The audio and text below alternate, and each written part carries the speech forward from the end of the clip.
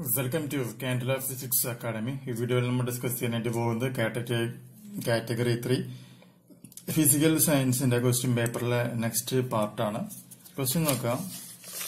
In a transistor option A I C equal to I E plus I B option B I B equal to I C plus I E option C I E equal to I C minus I B option D I E equal to I B plus I C നാല് options തന്നിട്ടുണ്ട് അപ്പൊ ട്രാൻസിസ്റ്ററുമായി ബന്ധപ്പെട്ട ഒരു question ആണ് നമുക്ക് എങ്ങനെ solve ചെയ്യാന്നുള്ളത് നോക്കാം. നമുക്കറിയാവുന്ന കണ്ടീഷൻ ഇതാണ്. നോർമൽ ലെവലിൽ ഒരു ട്രാൻസിസ്റ്റർ നമ്മൾ ട്രീറ്റ് ചെയ്യുകയാണെന്നുണ്ടെങ്കിൽ ഏകദേശം ഇതുപോലത്തെ ഒരു ഫിഗർ ആയിരിക്കും നമുക്ക് ആ ട്രാൻസിസ്റ്ററിന് കാണാൻ സാധിക്കും അപ്പൊ അതിന്റെ ഏകദേശം ഒരു ഫോർട്ടി പെർസെന്റേജ് റീജിയൻ നമ്മളിങ്ങനെ മാർക്ക് ചെയ്യുന്നു.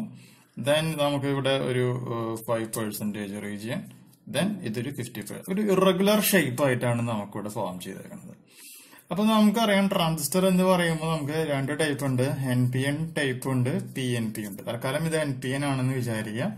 അപ്പൊ ഇത് എൻ ടൈപ്പ് ആണ് ഇത് പി ടൈപ്പ് ആണ്. ഈ റീജിയൻ എൻ ടൈപ്പ് ആണ്.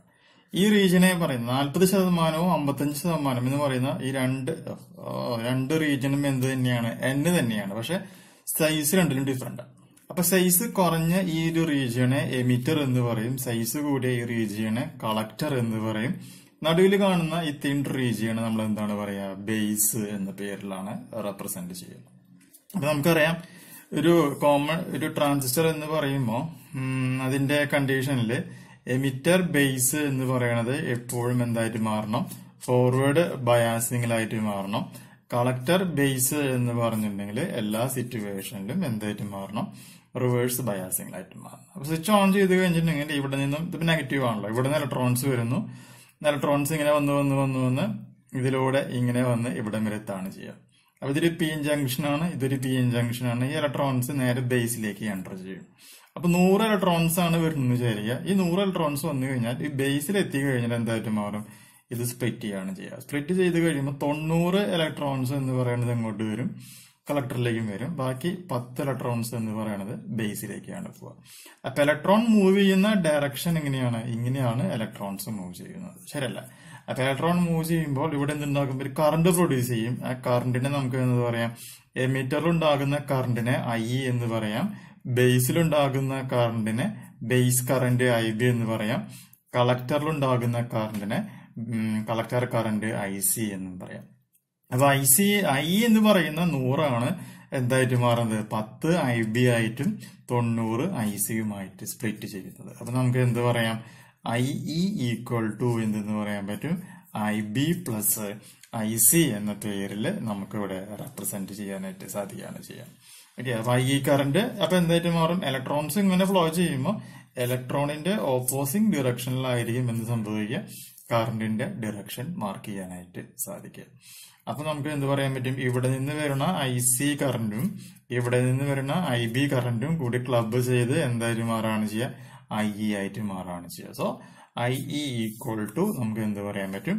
I C plus I B emitter current equal to sum of base current and collector current അപ്പൊ I equal to I B plus I C അപ്പൊ അങ്ങനെ ഒരു option ഉണ്ടോ എന്ന് നമ്മുടെ ക്വസ്റ്റ്യനിൽ നോക്കി കഴിഞ്ഞിട്ടുണ്ടെങ്കിൽ ഇവിടെ ഐ സി ആണ് പറയുന്നത് I C equal to I plus I B തെറ്റ. I B equal to I C plus I അതും തെറ്റ. I equal to I C plus I B അപ്പൊ തെറ്റ. I equal to I B plus I C അപ്പൊ ഇതാണ് നമ്മുടെ correct answer ആയിട്ട് വരുന്നത്. Okay അടുത്ത problem നോക്കാം. If the current in wire is ten ampere how much charge will be flow അപ്പൊ current തന്നിട്ടുണ്ട് I equal to ten ampere തന്നിട്ടുണ്ട്. ടൈം എന്ന് പറയണത് ടു സെക്കൻഡ് ആണെന്ന് തന്നിട്ടുണ്ട്. ഹൗ മച്ച് ചാർജ് ആണ് കണ്ടെത്തേണ്ടത് അല്ലെ? അപ്പൊ I equal to Q by T അപ്പൊ Q equal to I T അപ്പൊ ക്യൂ ഐ എന്ന് പറഞ്ഞാൽ പത്താണ് കറണ്ട് ടു അപ്പൊ ട്വന്റി കുളോംബ് എന്ന് പറയുന്ന ആൻസർ നമുക്ക് അവിടെ കിട്ടാണ് ചെയ്യും അടുത്ത ക്വസ്റ്റ്യൻ നോക്കുക. In iron cored coil the iron core is removed so coil become an air cord uh, coil.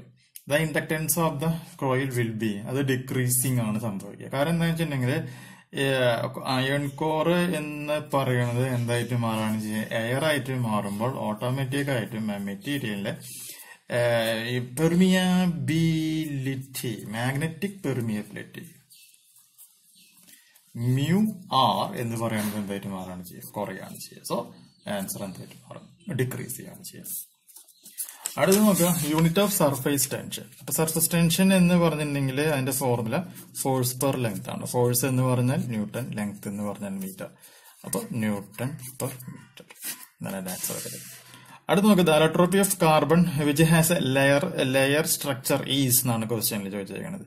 ഫുള്ളറിനാണെന്നുണ്ടെങ്കിൽ അതിന് ഒരു ട്യൂബ് ലേക്ക് സ്ട്രക്ചർ സ്പിയർ അല്ലെങ്കിൽ അങ്ങനെയുള്ള ഷേപ്പൊക്കെയാണ് ഒരു കോക്കിനാണെങ്കിൽ ഡയമണ്ട് ആണെങ്കിൽ അപ്പൊ ഗ്രാഫൈറ്റിന്റെ കേസിൽ അവർ എടുത്ത് പറഞ്ഞിട്ടുണ്ട്? ആൽഫ ഗ്രാഫൈറ്റ് ബീറ്റ ഗ്രാഫൈറ്റ് രണ്ടും ഇന്റർചേഞ്ചബിൾ ആണ്. എന്ന് പറയുന്നത് എങ്ങനെയാണ്?